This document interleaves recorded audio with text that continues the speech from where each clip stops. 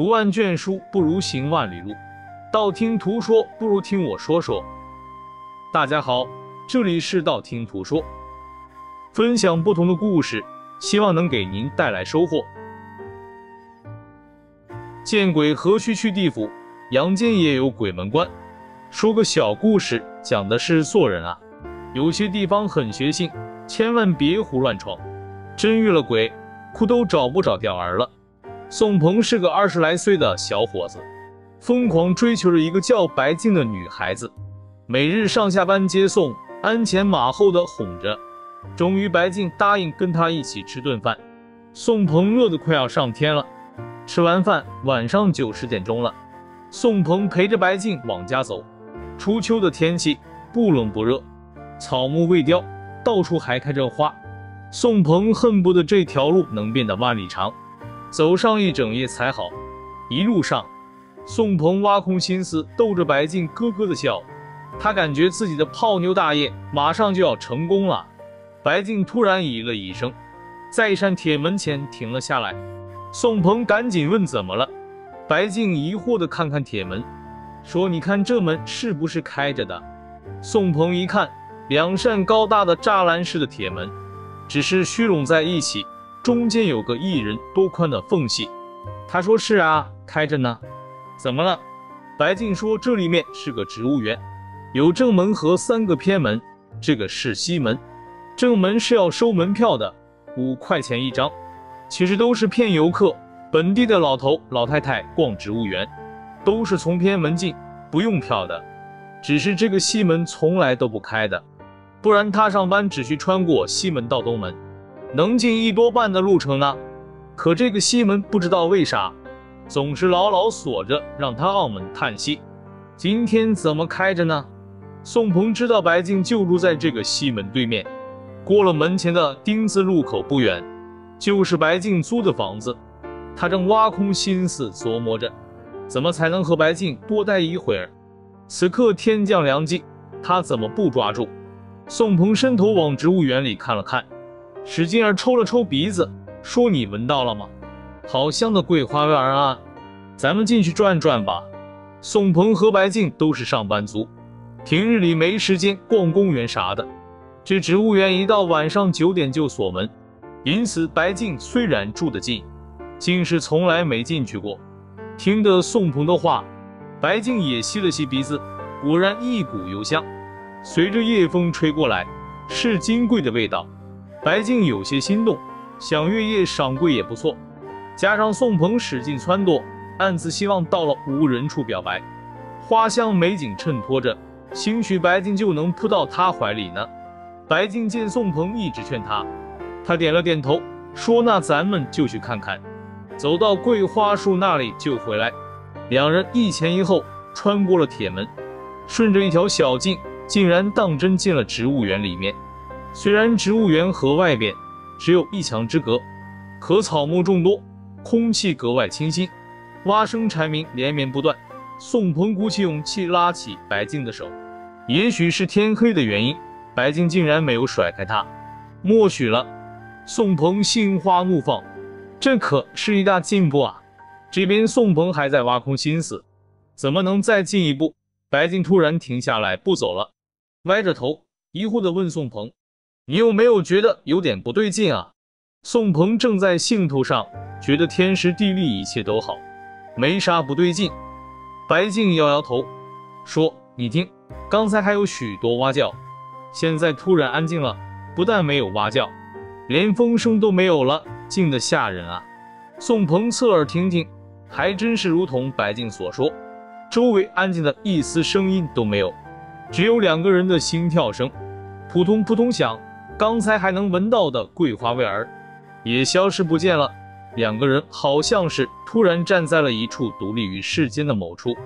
宋鹏惊得背上一阵阵出冷汗，好像有种无形的压力，让他喘不过气来。白静使劲儿攥着宋鹏的手，说：“咱出去吧，我觉得心慌的厉害。”宋鹏也打了退堂鼓，借机说：“既然你害怕，那咱就出去吧。”两人转身往回走，可是刚才进来时的那个铁门，明明就在前面不远的地方，两人却渐渐看不清路了。两旁的树木中涌出许多白色烟雾，聚而不散，凝成一条白链往西门延伸。宋鹏隐约记得西门的方向，要想出去，就得顺着这白雾往前走。可这雾气浮浮沉沉，带着一股阴冷的气息，挨到皮肤上，他浑身毛发都竖了起来，牙齿也咯咯的打颤。白静也害怕，紧紧搂着宋鹏的胳膊。宋鹏来不及体会手臂上传来的柔软，强拖着脚步往外走。来时只有几十米的路，此时长得没有尽头。宋鹏边走边看四周，走了半天，仍然还是在植物园里。不单如此，宋鹏借着朦胧的月光，看见前后边的白雾里，似乎出现了许多人影，飘飘忽忽，似乎也在前行。宋鹏眯着眼睛，正想看个仔细。会不会是自己眼花了？耳边传来白静带着哭声的话语：“宋鹏啊，你瞧见没瞧见？怎么多了这么多的人影啊？”这下可把宋鹏吓得不轻。看来不是自己眼花了，连白静都看见了，那就是真的有人在与他们同行。可耳边却只有他和白静两个人的脚步声。那些人虽多，竟是一点动静都没有。哎呦妈呀，这不是见了鬼了吧？宋鹏拔腿就想跑，可两只脚似乎有千斤重，半天只挪动了一小步。那白雾越来越浓重，宋鹏已经看不清白静的脸，只模模糊糊地看着他在自己旁边，跟别的那些人影差不多。宋鹏心里突然害怕起来，只觉得手臂被牢牢抓住。谁知道此时的白静是人是鬼？宋鹏使劲一甩胳膊。将原本紧拉着他的白静甩到了一旁，白静哎呀一声跌坐在地上，呜呜的哭起来。宋鹏手臂上一轻松，刚才的恐慌也退了些，他有点后悔自己下意识的动作，咋就把白静给推开了呢？他伸手往哭声的地方摸了一下，想再把白静拉回来，忽然手腕子上传来一股大力，像是被铁钳子夹住，猛地一扯。宋鹏几乎是飞了起来，扑通一下摔到了路旁的草地上。宋鹏摔得眼前发昏，爬起来刚想大叫，嘴巴突然被死死捂住了。他瞪着眼睛去看，却是一个灰衣服老头蹲在路边，一手捂着宋鹏的嘴巴，一手捂着白静的嘴，轻轻的嘘了一声，示意他俩都别叫喊。宋鹏和白静吓得胆子都破了，连连点头。那老头将手放下，一边一个拖着宋鹏和白静，退进了路旁的树林里，离开了那条路，宋鹏才清晰的看见刚才他俩所在的地方，整条小路上都被白雾弥漫了，里面晃动着无数的人影，像是一股白色洪流流向西门的方向。那老头见白雾流动已久，松了口气，压低声音问：“你们两个毛毛愣愣的小年轻？”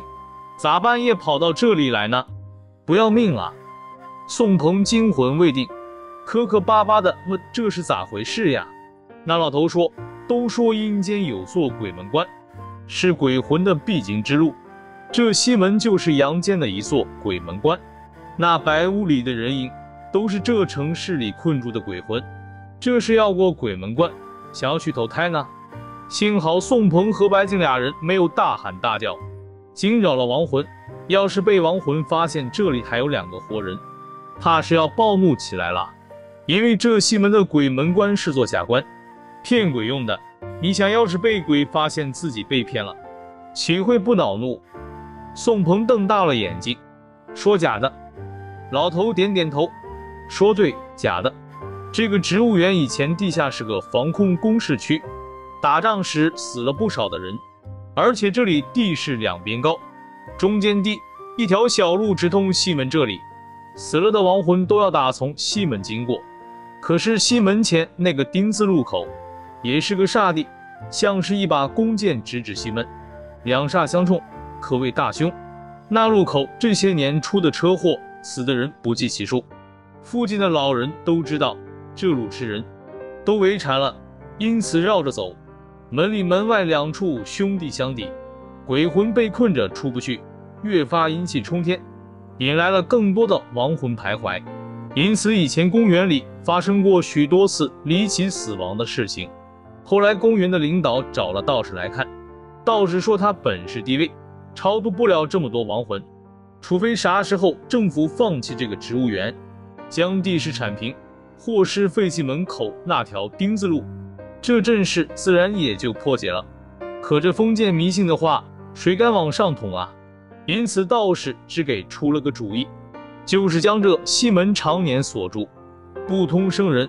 每隔三个月的阴日阴时，将西门敞开三个时辰，给鬼魂做成一个鬼门关的假象。门里的出去，门外的进来。黄泉路远，走上三五十年也是平常。鬼魂无知无觉，只顺着一个方向前行，骗得一时是一时，暂得安稳。只是今日，差点被宋鹏和白静坏了大事。宋鹏听了老头的一番解释，微微松了口气，说：“那大爷，我俩啥时候才能出去？不会有啥危险吧？”那老头看了一眼宋鹏，又看了一眼白静，嘿嘿一笑，说：“你们既然闯进这鬼门关，就是没了半条命。今晚你俩必须留下一个，作为送魂人，随着这鬼魂河流，去到那阴世，再也回不来。”另外一个才能平安离去呢，不然都得死在这里。你俩商量吧，留下谁？宋鹏本来以为被老头救出百物，便没啥危险了，此刻一听还是要死人，不由手脚冰凉，抬手就指着白静说：“大爷，你看她是女的，本身就阴气重，是不？留她吧，她比我合适。”白静本来在雾中被宋鹏推开摔倒，就一肚子怒气。此刻听着宋鹏说要让他死，两只眼睛气得都快要冒出火来，也顾不得害怕，猛扑过去，对着宋鹏就是一顿抓挠，大嚷着：“你个胆小鬼，要死就一起死，就是做了鬼，我也跟你没完！”那老头一见白净发了疯，也吓了一跳，赶紧拉开二人，捂住了白净的嘴，说：“哎呦，小姑娘，火气咋这么大呢？”老头，我就是开个玩笑，谁也不用死，你们就消停在这待上几个小时，等天亮我把门锁上，这鬼魂自然就消散不见了。你们该干啥就干啥去，以后别再来了就行。宋鹏捂着脸，心里暗骂你个死老头子，啥玩笑不好开，非要说得死一个，这下可把白静得罪的很了。煮熟的鸭子算是飞了。宋鹏凑到白静面前，还想解释，白静一脚就将他踹了个跟头，说：“滚！我再也不想看见你。”好容易挨到天色方亮，老头一见那白雾都消散了，领着宋鹏和白静来到西门口，将两人推出了门外，说：“走吧，走吧，别再来了。”西门落锁，老头哼着小曲儿走了，似乎对他的恶作剧还挺满意。这以后可想而知，白净臭骂了宋鹏一顿，再也不理睬他了。好了，今天的故事就到这里了。看完这个故事后，不知道你有什么感想？欢迎在下方留言，不要忘了点赞和订阅，希望能给您带来收获。感谢您的观看，我们下期节目再见。